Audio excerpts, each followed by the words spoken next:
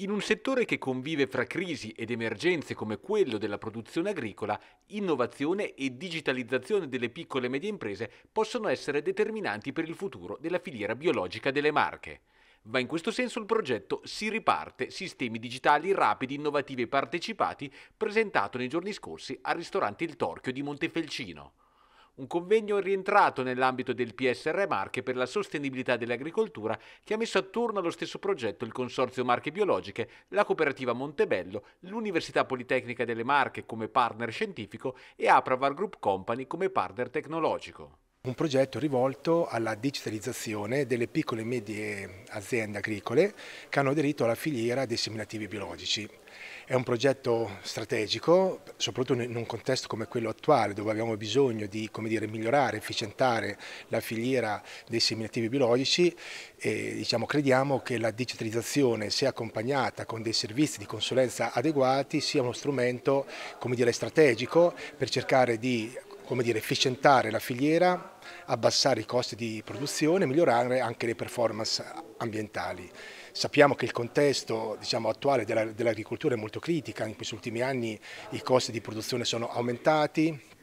le rese purtroppo, eh, complici anche i cambiamenti climatici, in questi ultimi due anni sono state anche rese basse sia dal punto di vista qualitativo e quantitativo, il mercato eh, stenta no, a riconoscere quel valore aggiunto che come produttori biologici abbiamo, quindi investire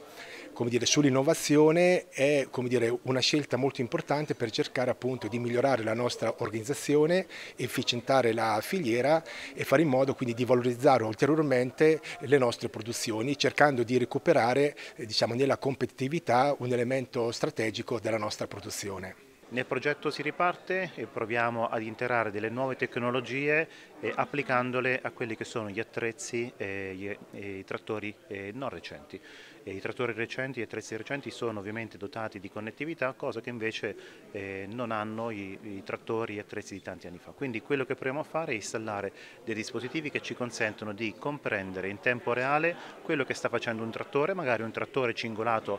che ha 30 anni, però grazie a questi dispositivi riusciamo a capire dove si trova il trattore e che tipologia di attrezzo è collegato. Questo è importante perché consente di fornire una serie di dati che possono essere inseriti all'interno del registro di campagna, semplificando tutte le operazioni di inserimento dati e predisposizione del registro, volta a creare una filiera in cui il tracciamento dei dati delle operazioni venga fatta utilizzando ovviamente l'operatore ma anche la tecnologia che ci consente di ridurre il tempo per eh, inserire i dati. Il tema della digitalizzazione ha tuttavia delle problematiche. In Italia soprattutto se eh, consideriamo eh, i dati strutturali che ci provengono dall'Istat vediamo come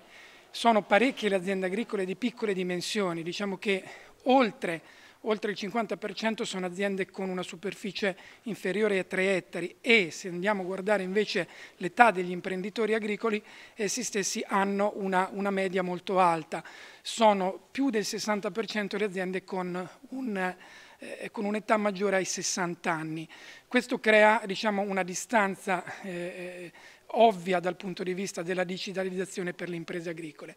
Nel nostro progetto, i primi risultati del nostro progetto si riparte, che è in collaborazione con la Regione Marche e con il Consorzio eh, Montebello, insieme ad APRA, abbiamo tuttavia eh, riscontrato che non è solo un problema di età anagrafica, quindi di